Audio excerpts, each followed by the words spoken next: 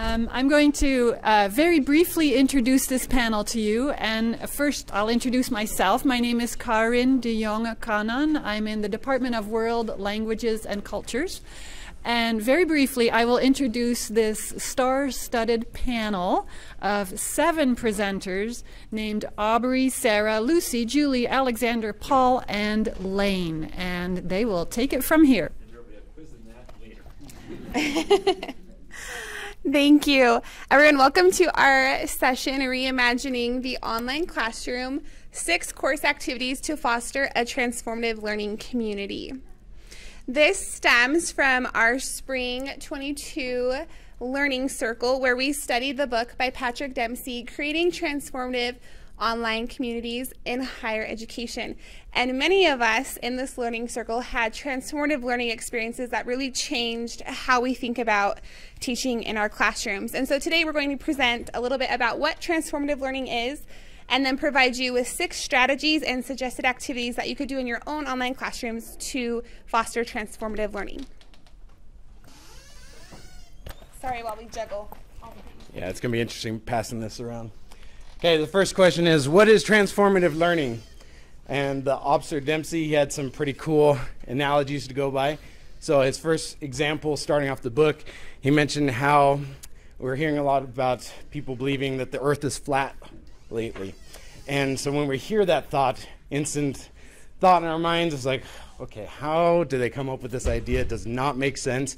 But when we stop to actually listen to them, we realize our own observances doesn't make sense that the earth is round. When we drive across the country, it just feels like we're going straight across horizontally, that we're not going with the curvature of the earth. We don't feel, we do not feel the earth moving ourselves. Our own personal observations would suggest that the earth is flat. But we know from science and everything that earth really is round. But when we start to listen to them, we can say, okay, it actually makes sense why they would think the way they think. And so, transformative learning. Uh, here's a quote from the author We all have pre existing ways of knowing. We all encounter ideas that challenge those ways of knowing. We all face the choice of whether to ignore those ideas to maintain the integrity of our existing knowledge systems or to make adjustments to how we know, perhaps even throwing off an entire way of knowing that has proven to be ineffective in its role of helping us make sense of the world. So it's being open to otherness, as the author puts it, being willing to accept uh, without judgment um, that maybe perhaps our way of thinking might not be the correct way of thinking, to allow ourselves to be able to change what we might have thought previously. And one of the coolest examples he gave is Mario Brothers. so, with Mario Brothers, he mentions how somebody who's never had experience with Mario before, trying out level one of Mario Brothers really sets them up for success come here. Mario's coming up against this little creature thing. And if he runs into him, what happens? He starts right back here at the, the beginning again. So the penalty's really not that big of a deal.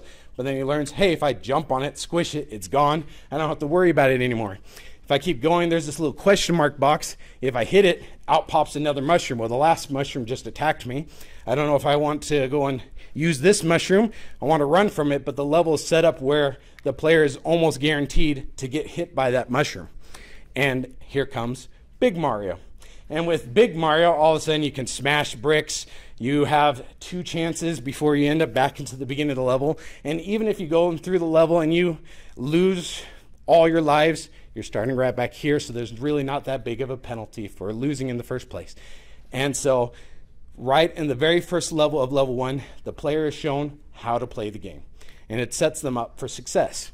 And that's how our courses ought to be as well, setting them up for success. Every student, when they're trying out a different class, has to learn a new syllabus. And it shouldn't be Greek to them. It should really be able to set them up from the beginning to help them understand what is expected of them so that they can be successful in the class. And so, um, these are things that we're going to be talking about today how to implement transformative learning. We're going to talk about six topics perspective taking, new roles, reflection, projection, student research, and learner centered, learner driven. And we're going to have examples for each of these. Okay? So I'm going to talk about perspective taking. Perspective taking, um, this author of this book actually provide an invitation to explore alternative, but he gave us two conditions. One is that should not be confused with projection, which is going to be discussed in this and presented in this presentation later. And the other one is that ideally will be a social activity. It shouldn't be happening in isolation. Because he has another concept in that book that is open to otherness, which means that it's about me thinking about what I know, but it's also about me thinking about what I know with other people. So he is big into these self-other interactions where a student need to interact in coming up with this different perspective on a subject, but he also says that this process need to be guided. You cannot leave to the student to do free range because they might fall prey to something called confirmation bias, in which they're going to only be looking for that information that reinforces their previous belief. Uh, there are three aspects of this perspective taking. Um, three concepts associated when he say you're going to design an assignment. Make sure that you invite to think about the premises the process and the product. The premises is the why. Why do i believe what i believe? The process is the how. How do i come to these conclusions? And the product is what is that i believe so in his book the very last chapter he gave us some examples but i'm going to add to the example that he gave to my own example that I use in class. And one of these is that we can we can have learners try to make experiment that fail instead of succeed in the national and the applied sciences. I know it might not be easy to design an experiment that might fail, but and then an alternative will look to a case study in which an experiment has failed. For example, I teach finances. And in the 1930s, the Federal Housing Administration implemented some policies supposedly to increment home ownership, but it actually what it did is promoted redlining, also known as discrimination in lending. So you can ask a student, what happened here? What were the premises? What the policymaker assumed? How do they come to this conclusion that it's going to be a successful policy? Another example, and because of time I won't deal with the first one, is include program discussion that adds learning to explore topics that are familiar from their point of view or that might themselves might not agree. And I'm just going to do a quick experiment here in one minute. So I'm going to ask you a question, also related to finances. Raise your hand if you believe that it's better to buy a new car as opposed to a used car. So you believe that it's better to buy a new car, raise your hand. Okay. now, raise your hand that you believe it is better to buy an old car. So when I do that little test on the student, we're talking about uh, car loans, etc., and then I'll invite them to read something that go counter they believe. So if you chose to buy a new car, I'm gonna have you read the advantages of buying an old, a used car, and vice versa. And then they can talk about those uh, perspective taking. And then I finish the exercise with just a short question. Did reading a different perspective change the way that you were thinking? Stay the same? Now you are more confused, etc. And so we'll go there. So, another way, this is sort of an extension on perspective taking, is the idea of new roles. And the idea behind this is by having, an having a student take on a new role, it opens up a space for transformative thinking. Dempsey gives a few different examples of new roles that you could possibly implement in your class, and he tries to keep them as open as possible, uh, just for the flexibility of the nature of the different topics we teach, right? So, for example, if you're having a group work situation, uh, maybe they're working through a problem or a scenario, you can assign people in the group to fill different roles. Maybe someone is playing the devil's advocate. Maybe someone in the group needs to function as a bridge builder. Maybe someone is a problem solver in the group. By taking on a new role, it opens a space for different thought. Another way you can apply new roles idea is with assignments. And we've we've talked about in a few sessions about peer review in Canvas. So Canvas has options for peer review. But having a, a, student's peer evaluate their work as if they were in the instructor, it gives a different set of eyes to the way maybe students are looking at the work that they're submitting um, from multiple perspectives. And then finally, an idea of other roles. So maybe in your field, you might be talking about policy. Maybe you have different um, problems or case studies or scenarios that your students might be examining. Imagine how different people that would be involved with this product you're creating might view the situation. So, how would experts in the field look at the thing you're creating?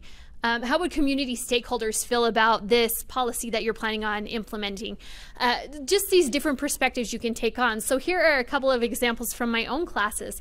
One of the classes I teach is a class that's centered on um, teaching students how to teach in communities, adult education in community settings, so non-formal education. One of the things they have to do is prepare a lesson plan and then practice teaching within the class. They do a, a short practice segment. When they upload their materials of their practice teaching, they have to let us know who we are as the target audience. So, for example, perhaps we're going to be parents who are just transitioning to parenthood for the very first time. Perhaps we're going to be that target audience will, there will be peers in the group who will be evaluating their work as if they were in that target audience. This is pretty beneficial from two perspectives. One, giving the evaluator an opportunity to learn how to evaluate work and evaluate a presentation and think about what they're presenting themselves. Um, and two, the feedback that students receive from someone who is pretending to be in that in that target audience has been quite valuable. So students have left the experience um, anticipating questions they maybe didn't think about before, or they leave uh, with ideas of new materials they might want to include, things that they might have been missing, snags that they might run into. Another example, this is one that I use in a, in a general education class when we're learning about human development theories is giving them case studies, case scenarios. Uh, for example, this one's about a boy who's just been biting everyone he runs into his parents, his siblings, his friends, his grandparents. He's biting everyone. Um, and so what we'll do is look at this particular case scenario and then try to examine it from different roles in this scenario. So how might a parent explain that behavior? How might a grandparent explain that behavior? And of course, we have to include some mental gymnastics. So um, how could you explain this behavior using theory as well? Would there be a difference in explaining this behavior um, depending on the perspective and role, uh, depending on which role you're taking on? Okay, the next practice is reflection. So, um, whereas perspective taking was kind of looking at why we perceive, think, and feel or act as we do, reflection really focuses on, you know, asking yourself that and asking it when you're amongst your peers too. So, a little bit more about reflection. My favorite quote from Dempsey about reflection was It's a provisional suspension of judgment about the truth or falsity of, or the belief or disbelief in, ideas until a better determination can be made. So, what reflection requires is an active communication with yourself and others. This can look like um, your lab group if you're in a lab setting, or if you are in a Canvas discussion board or something like that, right? Another one is this openness to otherness, right? It's, it's really important that you are open to admit, hey, maybe my ideas aren't really all that they seem. Maybe there is a different way of thinking out there, like the flat earth or the round earth, right? So an example of an assignment that you could implement in your classroom is the mirror, microscope, and binoculars. So the mirror is self-reflection, right? The next little um, stage is the um, experience reflection. So what did an experience teach you? The next one is the binoculars, which is the big picture reflection, right? So a way you might implement this, or how I would implement it in my classroom, I am a um, biology grad student and I'm a TA for the Intro to Biology lab. So for example, what that would look like for me is what do, what do I currently know about this topic? An experiment that we do is we look at seed beetles and how well they can lay their eggs on different types of seeds and if there are any products that prevent them from laying these eggs. So what did I learn from the pre-lab quiz? What did I learn from um, my past experience with bugs, maybe? Something like that. Then you would go on to complete the exercise or chapter after maybe writing a few notes about you, what you do know, right? Okay, and then we come to, okay, what did, how did my experience with the material or the lab inform or change what I already knew? So, okay, maybe we learned that week in lab that our seed beetles really do not like neem powder covering these seeds. They don't like to lay their eggs on these seeds, right? So we can kind of combine what we already knew with what we learned, and we can analyze that, and then that in turn um, basically informs or how does my new knowledge impact my future studies, right? Maybe we can design an experiment that tests other types of pesticides, maybe an essential oil or something like that, right? We can create these future studies based off what we what we already knew and then what we learned, and then again, it just becomes this kind of full circle of how what do what does what I know impact my experience, and then how can I implement that in the future. All right, so now we're on to projection. This is considering how I might have thought or felt about an experience. So imagine, right? After this conference, we're working on next semester's classes. You realize you have created a transformational course. Yes. Maybe you have flashbacks from this talk, just saying. Maybe you change things up. Your students are showing impressive work things are aligning. It's amazing. So, how now, as you've lived through this experience, how might you feel about your work that you're going to be putting into your courses? Or how might you go on experiencing this conference now? So, this is a quick view of my activity that I have. I am a social work professor, this is going through a food assistance policy. My students have to live off of $48 a week on food allowance. They do not have to do this mandatory, but it is fun to see. Um, whoops. They then get to um, reflect on how they might view this population that they're going to be going into working with, and also how misinformation might impact policy and how we can correct information to make progressive changes in policy. So, projection is not reflection because this is how I think or experience something. It is not perspective taking because that's making a case for that perspective. This is kind of like an elaborate um, bridge of all of these things into one, which can be a more transformational tool. Okay, so another tool to help you develop sort of these transformative, transformative sort of learning experiences is student research. So when we think about the difference between scholars and students, I actually ask, I start my classes and I ask, what's the difference between a scholar and a student? And there's lots of different answers, but one of the key sort of, I think, differentiators is that students see themselves as knowledge consumers whereas scholars are knowledge creators. And so, one way that we can help create these transformative learning experiences is engaging in student research where they can actually create knowledge. Um, so, when you think about that, when a student changes their role or changes sort of the perspective from being a knowledge consumer to a knowledge creator, there's several different sort of psychological things that happen. First, they're more interested, right? They're going to be more sort of engaged because obviously they get to choose the topics that they're going to research, right? Their autonomy is sort of activated. The other thing that happens is that they're also able, because of that autonomy, they're going to look at different perspectives and resources that otherwise they probably wouldn't consider, you might not consider. So they're more invested in the learning process, and then at the end of it all, they're able to teach others, right? They can actually sort of contribute to the knowledge of the class and, and even to the, to the teacher at times. So there's three examples that I do in my own uh, sort of teaching. First is just traditional student-led research papers, um, often applying, uh, in my context I teach leadership, so I'm having students often applying a particular leadership theory and analyzing the leadership leadership of past leaders or leaders that they're contemporaries with. You can also, you know, engage students where they partner with outside organizations and actually do research with existing companies or other organizations about particular needs that they have. And then third, they can engage in these student-led service learning projects. So in my leadership class, we have students identify a particular cause that they want to contribute to. And then they have to go through and develop sort of a way that they could contribute to that cause and sort of push it forward. Um, so yeah, and these sort of th these are three examples of different types of research, but but in all of this, I think it's important to, to make that transition from student or from knowledge consumers to knowledge creators. And and at the end of the day, it's not necessarily what the outcome is that matters. I love this quote by Lloyd, Lloyd Alexander. He says, "In some cases, we learn more by looking for the answer to a question." and not finding it than we do from learning the answer itself. So, in engaging in the student research, it's not necessarily about the outcome that students obtain that matters, it's about going through that research process that helps them create that transformative experience. And this leads nicely into our last strategy we're going to present to you today is to create a course that is learner learner centered and learner driven. So choice, personal meaning and practical application are three ways that we can do this. And some key principles that I wanted to highlight is that anything you can do to give your students a say in their learning is going to support transformative learning. There are simple course changes that can be made that will make a big impact in students' learning experience.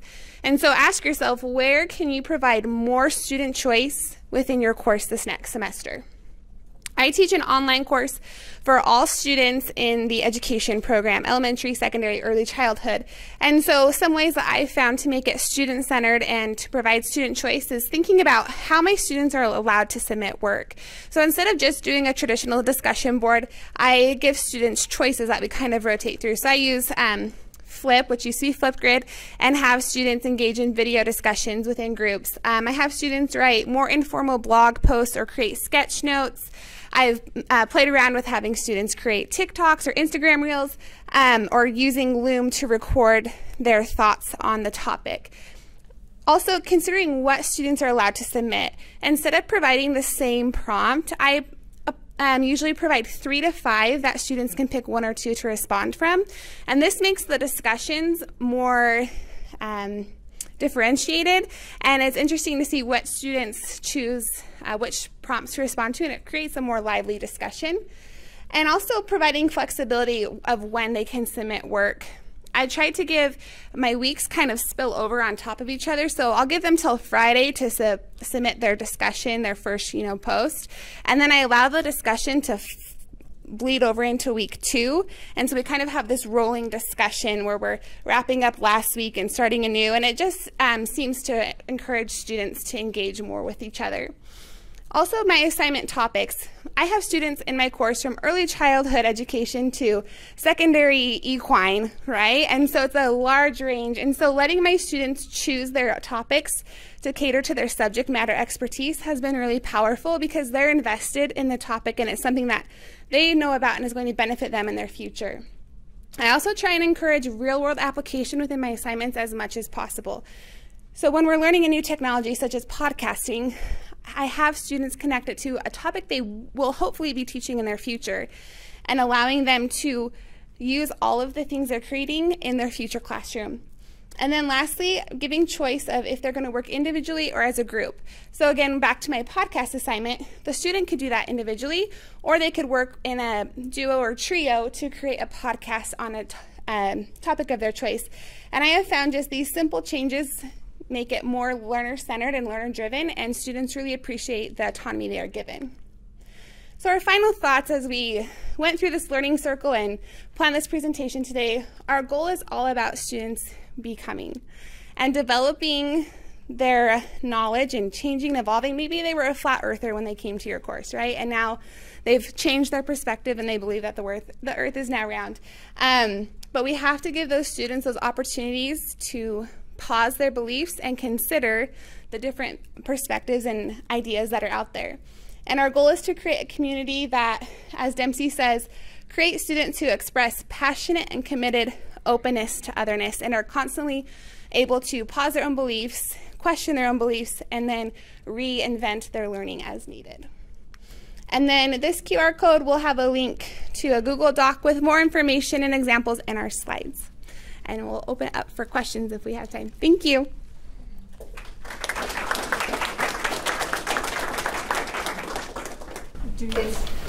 when there's something like flat Earth, we can all do it. But what if the question there is like evolution or something that might really get at the heart of a religious belief? Yeah, I think that's a, a great question. And I think we can't expect our students to change their belief because there might be some core you know religious beliefs that they aren't going to change but having students consider the other perspectives within that. And maybe at the end, they look at all the other evidence and they still choose to maintain their belief. Or you expose them to all these different arguments and they say, hey, you know what? maybe I do want to align myself more over here, but you give them the exposure and the opportunity. But we, we can't force our students to see something a different way if they don't want to. But we have to give them the opportunities to do so. Yeah, go for it. Um, what I liked in the book was that it talks about creating a space of non-judgment. We sus- we suspend our judgment. We go into this space. We allow ideas to flow and to come, and we just hear what is to be said. We do not come up with a conclusion in that space. Then we leave that space. And then that's when we can decide if we're going to take something, if we're going to leave something, if we're if I'm going to allow something to percolate and and maybe just ponder on it. And that's where ideas change. That's where the belief happens is when a thought or a, a heard opinion can sit and percolate and we can ponder on it it's not in this one session, this one topic, all of a sudden my whole belief changes. It's that allowing and creating that space of where we all come together, suspended in this otherness. And that's where beliefs can change. And Dempsey talks about how this takes time. So these conversations are going to be happening multiple times throughout the semester. You can't have like one session and have it be a transformative learning experience. Like it's something that's going to slowly evolve over time. And students may hold on to that belief for, you know, even years after your course before they change. So it's, um, yeah, I think it's a process and it's a new way of thinking for many students. Thank you so much, everyone.